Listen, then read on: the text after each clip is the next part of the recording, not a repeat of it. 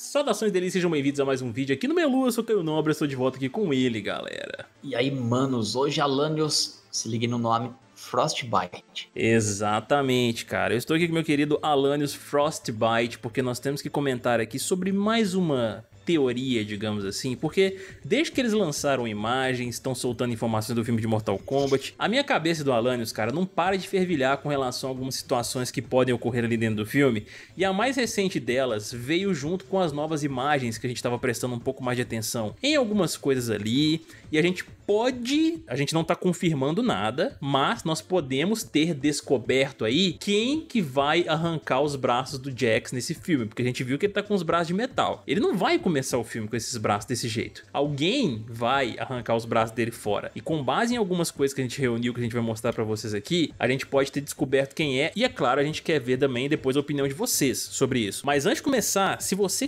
curte esse trampo que a gente tá fazendo sobre a cobertura do filme de Mortal Kombat, as notícias sobre o jogo, entre outros jogos também, que a gente tem feito lives aí também, de Resident Evil, temos falado muito de King of Fighters também, que a gente vai trazer mais no canal pra vocês. Deixa o seu likezinho aqui, cara, se inscreve aí no canal pra gente chegar nos 50 mil inscritos também, e ativa o sininho pra vocês não perder a notificação de quaisquer vídeos, seja de Mortal ou outros jogos que a gente trouxer aqui no canal, beleza galera? Então vamos lá meu querido Alanios, deixa eu fazer o seguinte, nós vamos começar o assunto aqui trocando a nossa tela pra novamente aquele artigo no site do IW que a gente viu, com as primeiras informações, fotos do filme e tudo mais. Começando aí a nossa teoria com relação ao Jax perder os braços ali e quem pode ser o responsável por isso. Nesse trecho aqui, ó, onde falam do Jax Briggs, falando que ele é um agente das forças especiais e tal, que tem a mesma marca do Cole. Eles mencionam nesse trecho que ele diz ao Cole, né, ele só coloca aqui, ó, urges him to seek out Sonya Blade. Fala com o Cole para poder ir atrás da Sonya. Eles não explicam o contexto, entendeu? Como é que foi esse encontro deles e tudo mais. Simplesmente falam isso, que o Jax mandou ele atrás. Isso já ficou um pouco estranho na nossa interpretação a primeira vez, porque tipo assim, por que, que o Jax não levou ele lá? Porque ele não o acompanhou, entendeu? Ele simplesmente urge urges him. Tipo assim, a gente tava até discutindo isso, né, Alanios? Que esse urges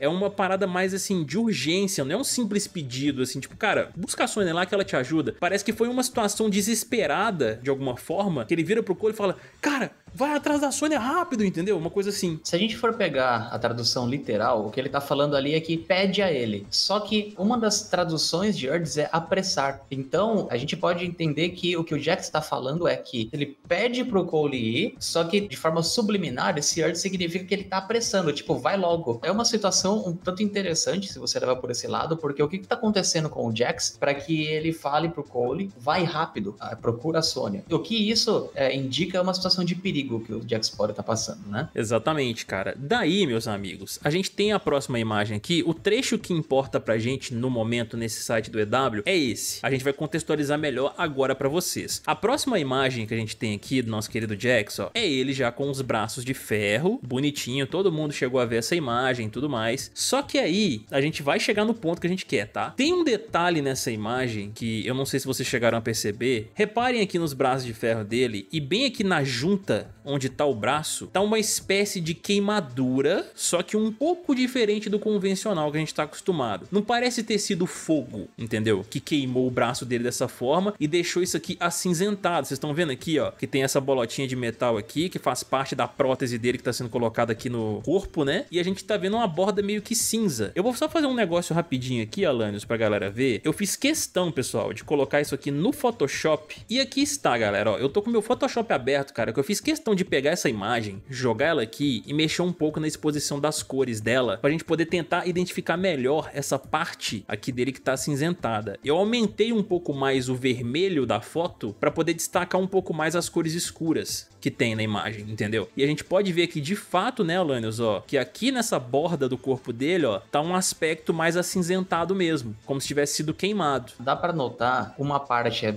sombra, tem uma parte ali no peito que é perto de onde tá o parafuso mesmo, que não é sombra, ele tá um, um recorte um pouco mais acinzentado, e esse tipo de cor lembra necrose. Esses vão entender o Frostbite. Daí, galera, ó, a gente voltou pra imagem do Jax normal aqui pra vocês novamente, entendeu? E a gente tendo explicado isso aqui, vamos pra parte interessante da parada agora, com base até mesmo nas novas imagens que eles revelaram pra gente aí, naquele teaserzinho lá do HBO. Nós temos aqui nosso querido Sub-Zero, né, evocando seus poderes de gelo aí e tudo mais, congelando o que parece ser uma, um bairro de alguma cidade, entendeu? Tipo, tem, a gente pode ver os carros aqui e tudo mais. Vocês lembram no texto do EW que eles comentam lá que o Shensung manda o Sub-Zero ir atrás do Cole. E o Cole, ele é um cara lá que tem a sua vida, ele tem família, pelo jeito, né, que a gente já viu outras duas atrizes ali escaladas para poder fazer membros dessa família dele mesmo, né? Isso daqui, cara, a gente acredita que pode ser muito bem uma cena de perseguição do filme mesmo, entendeu? Onde ele localiza o Cole, aí ele vai atrás do personagem, ele começa a evocar seus poderes, seja para poder fazer ele sair de onde ele tá, ou para poder fazer uma demonstração de poder mesmo e tal. Essa não é a questão. Mas o que a gente acha é, ele localiza o Cole aqui, daí, cara, o Cole, sem saber o que ele faz e tudo mais, que ele vê um personagem poderoso assim, chega quem? O Jax. Ele de alguma forma já devia estar tá sabendo dos planos do Shensung,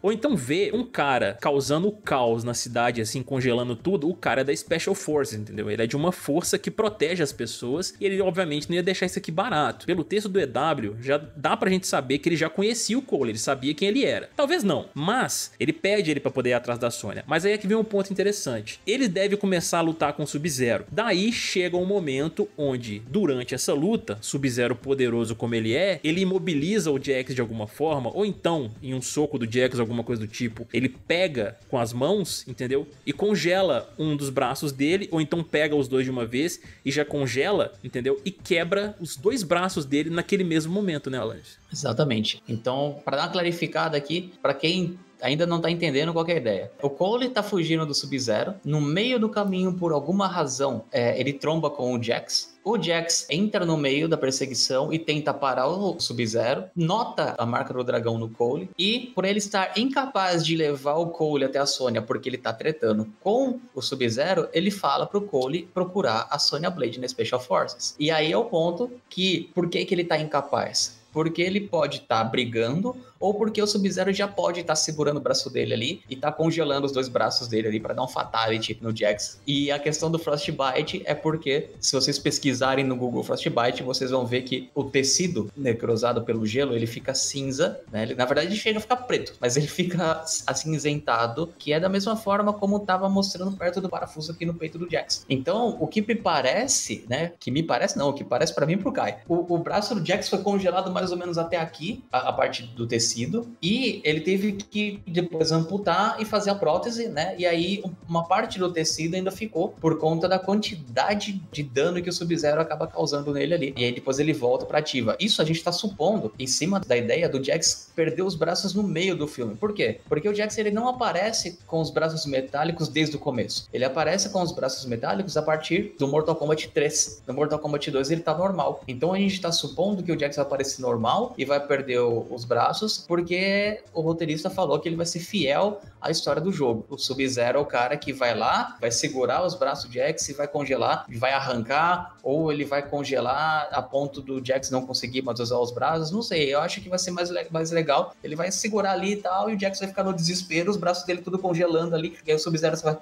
acabou o braço. Essa história dos braços dele serem arrancados e tudo mais, até onde eu me lembro, veio do reboot, quando o Ermac faz isso. No Mortal Kombat 3, até onde eu me lembro, ele simplesmente coloca pra poder ter mais força, entendeu? Ter mais capacidade. Tanto é que eles até zoam no Aniquilação, vocês lembram no filme? Eles pegam esse trecho de história e trazem pro filme, onde o Jax coloca pra poder ter maior capacidade, maior força, né? Pra poder enfrentar seus inimigos, e o Raiden dá até aquela zoada e tal. Então, até onde eu me lembro, na era clássica, era assim a história. Vocês podem até me corrigir aqui, se não for. Mas mas eu acredito que era assim. E aí, cara, isso, Alanios, pode ser uma baita de uma referência, sabe por quê? Qual que era o fatality do Jax? Um dos no Mortal Kombat 2. Arrancar os braços do cara. Exatamente. Pode ser justamente também uma referência, cara. Então, muito da hora, eu e o Alan, a gente começou a discutir sobre algumas coisas do filme assim, e a gente chegou nesse ponto quando a gente tava imaginando como é que o Jax conseguiria os braços de ferro dele. Que ele não vai começar o filme já com isso, eles vão ter que dar um contexto para isso pra gente. Tudo leva a crer, por conta dessa perseguição aí do Sub-Zero atrás do Cole, e tudo mais, que ele vai realmente intervir e vai acabar perdendo os braços no processo. Isso vai ser muito louco, Alanis. A gente não tá falando que essa cena em específico é a cena que o Jax perde o braço, mas essa cena mostra pra gente que o Sub-Zero tá atrás de alguém no meio da cidade. E é o, o lugar propício pra, pra coisa acontecer. Quer dizer que vai ser essa cena aqui não, mas pode ser alguma coisa próxima e tudo mais. Porque na nossa cabeça, a perseguição, cara, vai ser durante todo o filme. Pelo menos eu acho até o Scorpion intervir. Depois que ele volta e tudo mais, e depois de ser morto e tudo, né? Mas a ideia é essa, meus amigos. A gente tá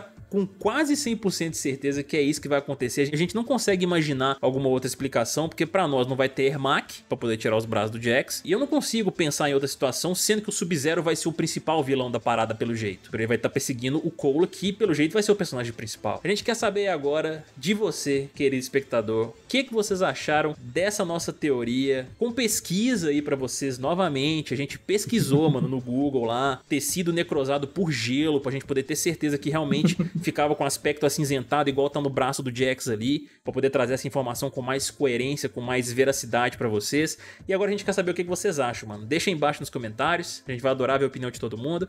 E não se esqueçam novamente de deixar o seu likezinho aqui embaixo, se inscrever no canal e ativar o sininho para não perder a notificação dos próximos vídeos, galera. Vamos ficando por aqui, um beijo, ó. Gostou? Você dá uma olhada no pin esquerda e direita de cada um de vocês. Até mais. Fomos!